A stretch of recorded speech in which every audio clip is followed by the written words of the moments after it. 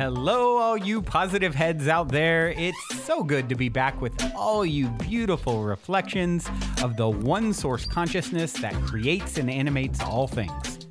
If you're new to this podcast, of course, we are super happy to have you here, and we just ask that you bring an open mind and heart to your listening experience and to be prepared to explore vantage points that I'm convinced will help shift or solidify your current understanding of the ultimate nature of reality in a way that is extremely empowering. Speaking of exploring powerful perspectives, I'm super excited to announce the release of my very first book, The Golden Key Modern Alchemy to Unlock Infinite Abundance. If you're ready to alchemize the circumstances in your life so that your abundance expands to an entirely new level in 2021, head over to goldenkey.gift to download the audio or ebook as my gift to you by using the code POSITIVEHEAD.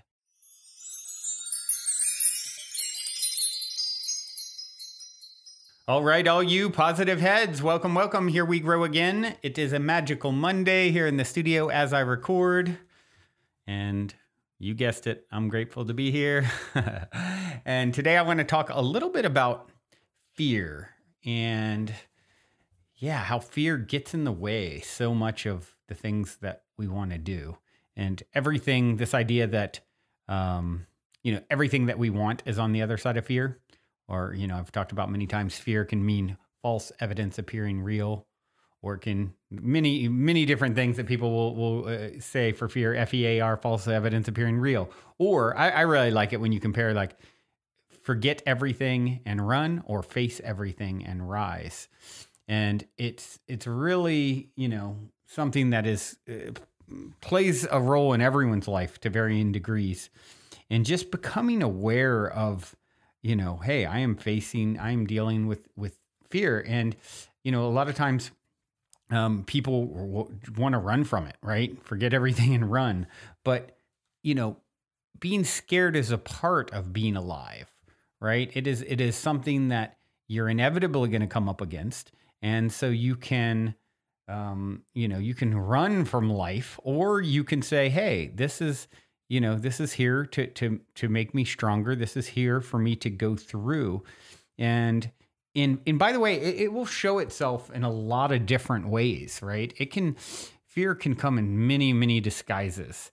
And you know one of the things that um you know made me think of think of this well one i've had a bunch of uh, of things pop up around this topic in the last few days. So it was obvious that i should bring it up and talk a little bit about it today. But um you know I, I, received one of the things was I received a note from the universe that uh, speaks to this, and I'm going to read it real quick. It says, Impatience is a sign of hurrying. Hurrying is a sign of worrying. Worrying is a sign of fear. And fear is a sign, Brandon, that someone has temporarily forgotten that it's never too late to change their thoughts and therefore their things. Glad we could straighten that out, the universe.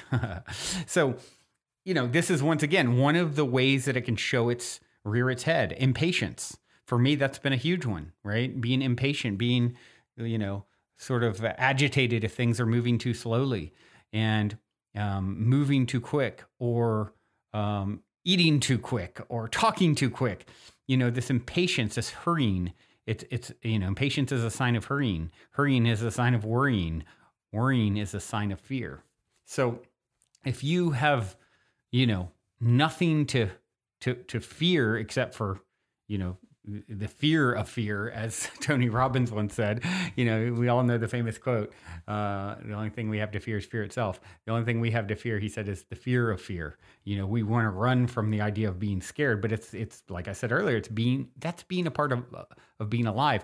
And a lot of times, you can know something is the path for you. I've also said many times is if it scares you and excites you, it's probably for you.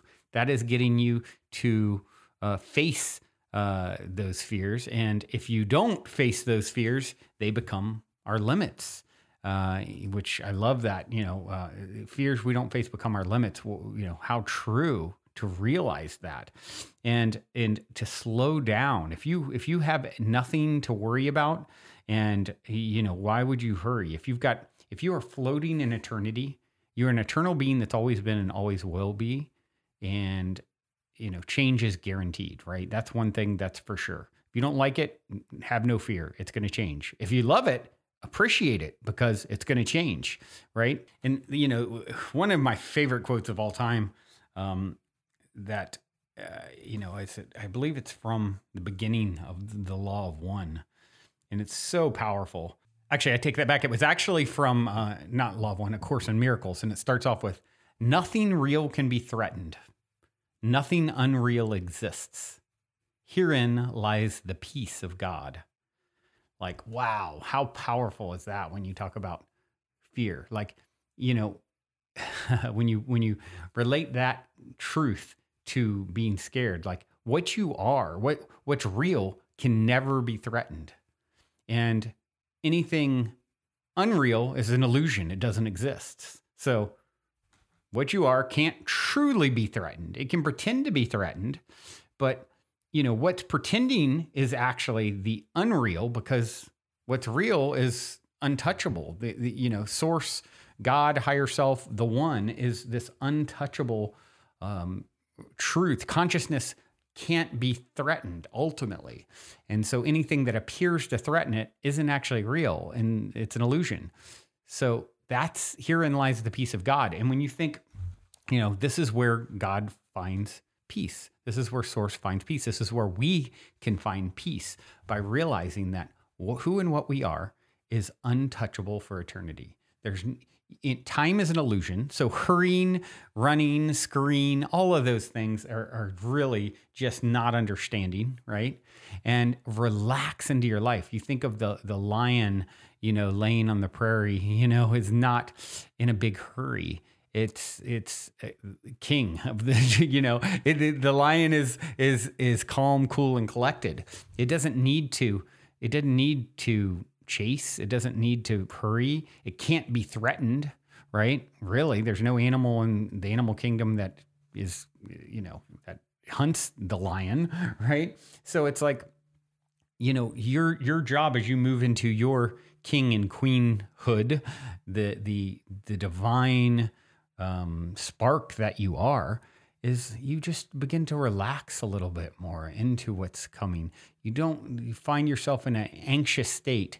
You know, you're you realize, oh, I'm out of alignment. I can take deep breaths. I can slow down and and actually start playing with the understanding that by slowing down, I create more time as the creator.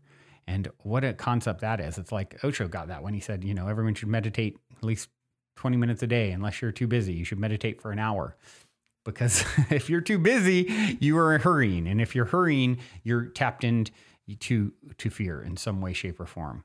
And this is such a, a divine dance of us to um, to learn how to just slow down, to be coming from a place of um, of power, tapping into our power, and and as a result, eh, you know, we it doesn't mean you're never going to be scared but you're going to realize that that is a part of it of your life and you're going to face it like a, you know like a true the true spiritual warrior that you are. Here's a good one and i'm not sure who who said it but fear is not real. The only place that fear can exist is in our thoughts of the future it is a product of our imagination, causing us to fear things that do not at present and may not ever exist.